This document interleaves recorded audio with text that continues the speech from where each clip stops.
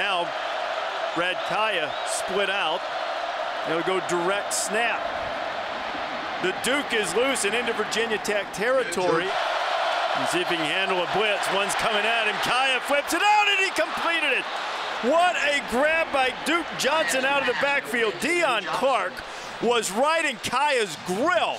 No holding call. There is a personal foul. Gives the Canes a first down in there. Goes to Duke. The Duke is loose and inside the 20 and knocked down at the 15, and the Hurricanes are on the march.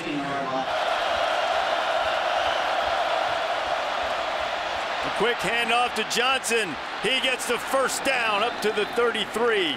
Kyshoen Jarrett got him on the ground. Third and eight, the third and seven now. Got a first and 10. And back to the ground and a whole lot of running room. Johnson's loose.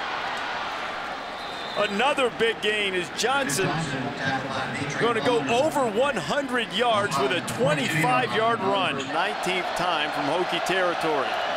Duke Johnson wide open and Duke is gone. Touchdown Miami.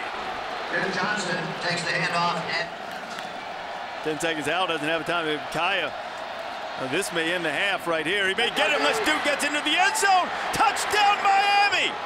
Duke Johnson in nick of time. and he scores a Miami defense has been terrific, and so too has the offense behind Duke Johnson, and he picks up a first down. Duke Johnson ball carrier. Sweet feet. He made two guys miss before he even got back to the line of scrimmage and picked up 10 yards.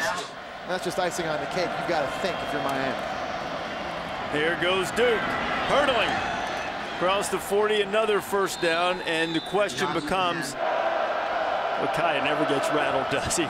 Play clock on him, that's okay. They'll fix it up in the running game. Got a career high for the Duke. Johnson inside the 10 and finally run out of bounds. So he runs away from you. He jumps over top of you. He stiff arms you in the face. Who's who character of the um, of the- Rolando McClain Yeah. Who? making a comeback. Welcome back. Another big run from Duke Johnson. He's into Virginia Tech territory and chased out of bounds. A Duke, oh, oh, Duke. Oh my goodness, he lost his footing, sort of slipped as he got close to that steel bench.